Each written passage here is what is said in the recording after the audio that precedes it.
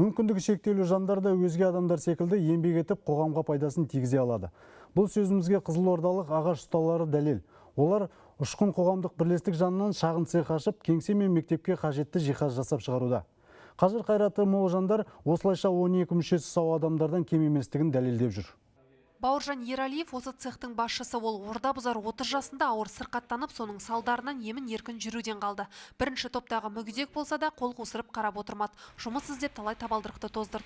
Бірақ жүріп тұру қиын азаматты қызметке қабылдауға ниеттілер табылмады. Жігерлі жан ұшқын орталығына келіп, қолынан іс келетінін көрсетті. Міне екі айдан бері мектеп партасы шкаф секілді жиһаздар жасап, сүйікті кәсібін дөңгелетіп отыр. талай меке- мекеменің есігін сөйтіп барып қақтым бәрі де жұмыс қалған жоқ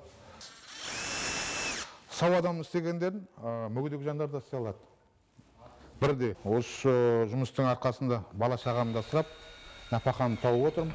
Мынадан да бұл бұдан да күшті жиһаздар жасауға болады. Әдемі әдемі.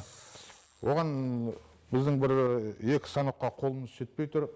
Сол неге станокқа қолымыз жетсе жақсы болар еді. Цехта Бауыржан секілді тағдыр теперішіне ұшыраса да қиындыққа мойымаған 10 азамат жұмыс істейді. Денсаулықтарында кінәрат болса да тапсырысты асқан ұқыптылықпен орындауға тырысады бәрі. Өйткені мүмкіндігі шектеулі жандардың еңбекке қабілетті екенін көрсетіп, сенімді ақтау керек. Күнделікті тапсырысты орындаған соң олар өздеріне арналған аула клубында бас қосады. күніне бір жеті сегіз адам келеді қабылдап осындай қамтып тұрамыз шамалы білмегендерін үйретеміз арасында бір жағынан сосын мың шақты адам айына қабылдаймыз. Арасында бос уақыттарында келіп осындай жұмыс. Шахмат шашка ойнайды.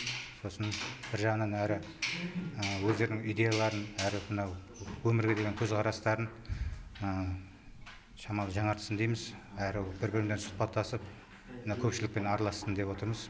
Ұшқын қоғамдық бірлестігінде 40-қа жуық мүгедек еңбек етеді. Алдағы уақытта олардың қатары арта түспек. Өйткені аймақтың барлық аудандарынан аула клубтарын ашып, кемтар жандарды кеңінен жұмысқа тарту көзделуде. Жалпы осы ұйым ашылғаннан бері біраз адамның өмірге деген құлшынысы артты. Қоғамнан тыс қалған талай жан тұрақты қызметке орналасты, жаңа достар тапты. Ең бастысы Бауыржан секілді жандардың жүрегінде баянды болашаққа деген сенімнің ұшқыны оянды.